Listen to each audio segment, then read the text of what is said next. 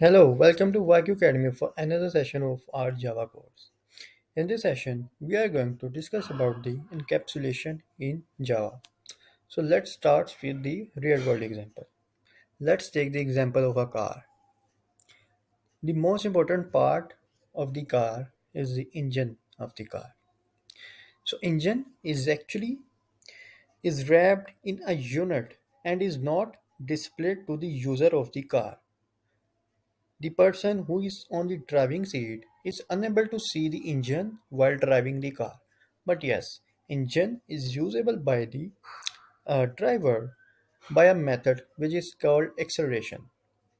But this is exactly the encapsulation that hide a thing and give its usability to the user. And this is also used to achieve security. Okay, so let's discuss the uh, encapsulation in Java.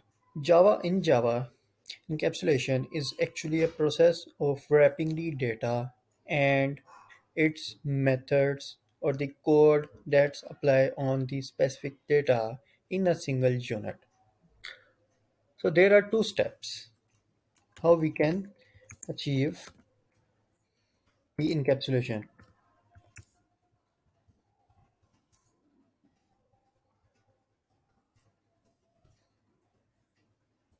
Okay, so step one is make all attributes of a class private.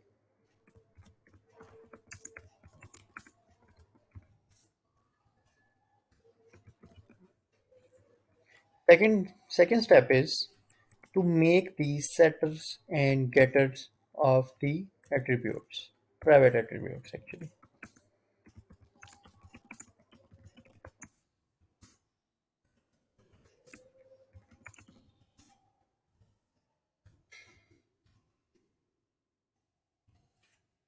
Private attributes.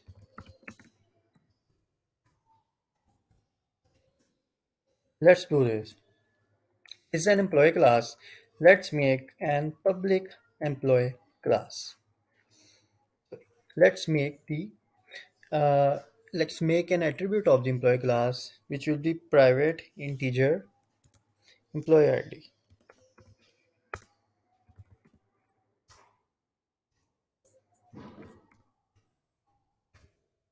Okay, so you guys need to understand that what is mean by this private here. So let me give you an example. So let's say this is our employee class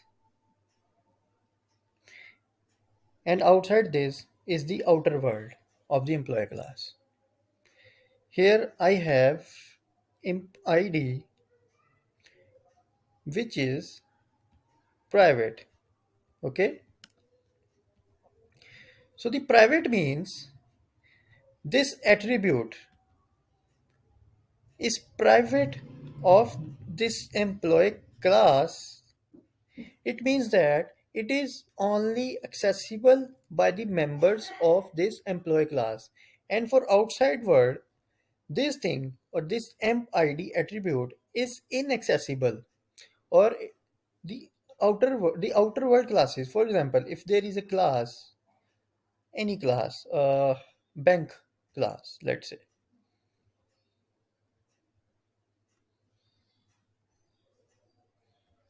This is a bank is a separate class employee is a separate class. If emp id of employee class is private it means that bank class is not able to use the emp id so that is the mean of the private keyword here. A private keyword is used to achieve security or is used to achieve the encapsulation. So let's move forward. Here we need to make the setter of the emp id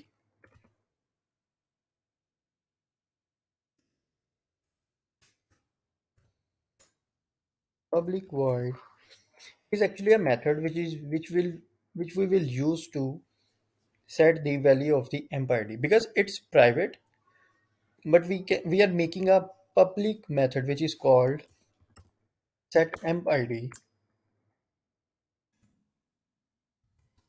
where we will pass an uh, parameter to the function and this value will eventually assign to the emp id which is inside the employee class. Okay. So this method is called the setter of the emp id the same way we need to make here the getter method. So getter method is used to this view this view the value of emp id or display the value of emp id to the outer world of the employee class. So let me make this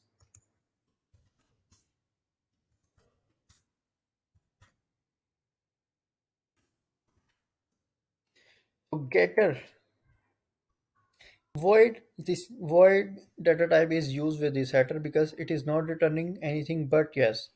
Getter will not be the void because it is returning something. It is returning the integer value because emp id is the integer. Integer get id no parameter just return this emp id okay. So inside the emp id we successfully achieved the encapsulation with the emp id private attribute. So let's use this.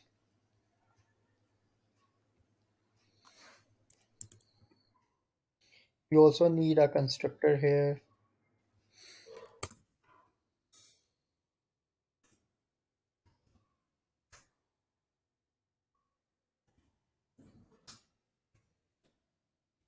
we can initialize emp id anything. Let's say 0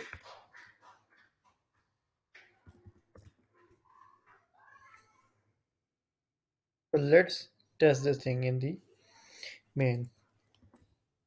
Let's make employee new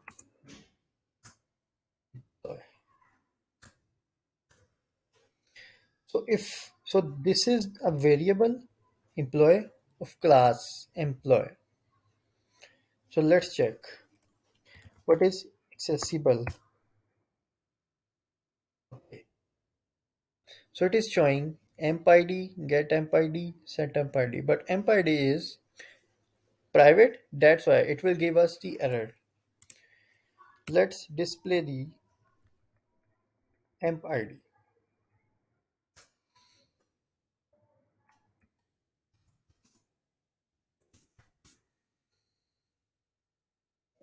sorry. Set not set get.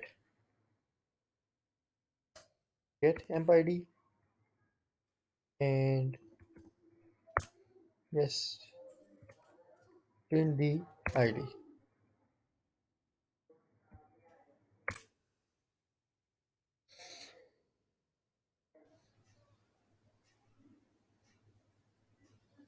so you guys can see this zero value so by getter, we can get the value of the emp id. In the same way, we can set the value of emp id by using the setter. Let's say, let's set 101. Then if we'll again get this